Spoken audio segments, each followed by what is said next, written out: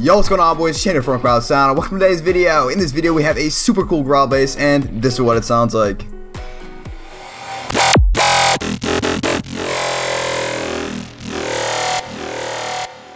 So really really cool bass and this bass actually comes straight from our brand new pack called Annihilated Bass for Serum Volume 1 and it's actually being released today. Um, yeah, it's 90 serum presets and 90 waveforms. And I swear to you guys, this is the best pack on the market. Um, if you don't believe me, I'm going to play a little piece of the demo.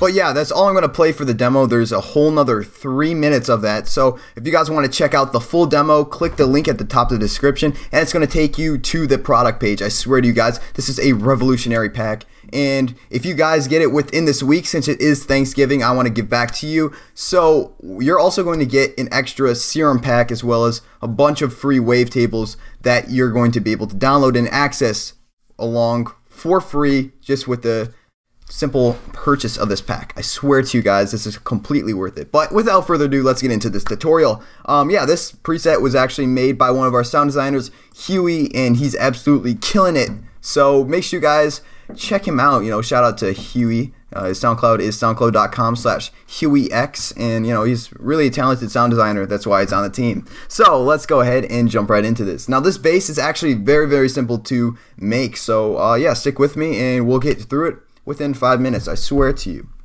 Okay, so oscillator A, we are going to turn to our digital and select, where are you, Evil Sweep. So evil. Right off the bat, we have a really, really screechy kind of sound. So we're going to move the waveform or the wavetable position. Why do I keep saying waveform instead of wavetable? That is weird. You know, wavetables are, you know, sets of waveforms, but, you know, I don't know what's going on in my head right now. Anyways, wavetable position is going to go to about what is that? Uh, it's the 75th frame here. So um, yeah, it's going to go at about 30, 35%. And yeah, we're going to turn this low frequency oscillator number one on there and make it go modulating up to reach the 100% tile. Okay, so we're just what I cannot speak today. we're really just moving this knob up all the way from right about there. So anyways, yeah, for our warp selection, we're going to turn on the ASY M, positive and negative. So as we move the knob, you're going to start to hear a very sim similar pattern throughout, just kind of moving around. But anyways, uh, yeah, when we have it all the way to the left, it's a positive, and all the way to the right, it's a negative. Uh, basically, we're just pushing it. When it's on the left, we're pushing the waveform to the left, and then we're stretching it to the right um, you know, the same thing, but except inverted to the right, uh, just by moving that. And then at 50%, it's halfway through.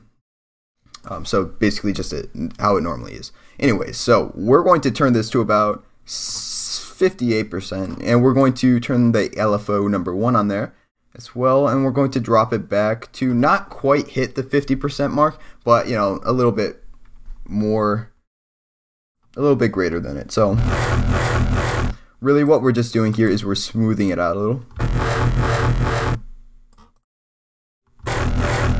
So yeah, you guys kind of get the idea of what that's actually doing. Um, into the filter, we're going to turn on our multis and we're going to go ahead and choose a high peak filter. So this is a combination of a high pass and a peak filter. So we're going to turn on our cutoff to about, what is that, 90 hertz. And then we're also going to stick our LFO1 onto here. And we're going to jump this up to about, it actually doesn't matter. It's completely personal preference, what you guys are trying to achieve in your own bass. So somewhere around there. And then the resonance, uh, we're going to also jump up quite a bit. That way we really have a really strong presence on the presence on the filter. And um, we actually want this to be a little bit more resonant as we move closer to the top of the ramp. I'm actually going to fix this to go right here. So as we're getting closer to the top, we want there to be a lot more uh, greater resonant um, kind of presence on the sound. So the filter really stands out more as we get towards the top. And the resonance completely nails it. just how we want for it. So um, that's really it for the oscillator panel. Into the effects panel, we're going to turn on our hyper. We're going to drop this mix to about 5%. And into the dimension, we're going to turn that down to about 5% and the mix up to about 25. Also, guys, we could turn this up to, you know, whatever you really want. This, I'm just trying to keep it nice and simple. It's all personal preference. So into the compressor, we're going to turn on a multi-band and we're going to turn up that gain a little bit. Oh my gosh. And that's all it took to make this really, really cool bass. Um,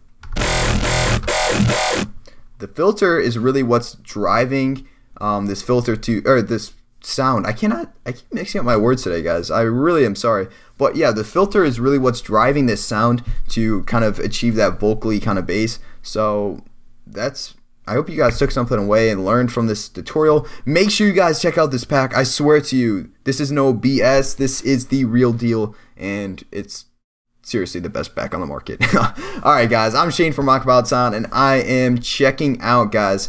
See you guys in the next one.